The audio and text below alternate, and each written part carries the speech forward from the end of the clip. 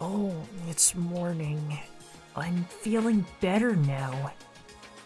Kirigiri-san was in my room. Or was that a dream?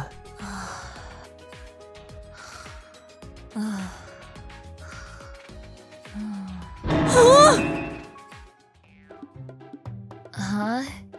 Uh, good, good, good morning, Kirigiri-san. So, um, how come you?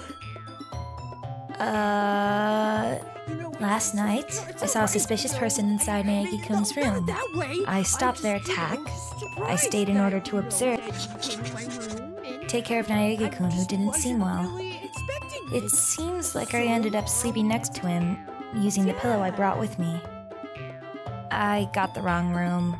Mine is next door, after all. What the? What do you mean you got the wrong room?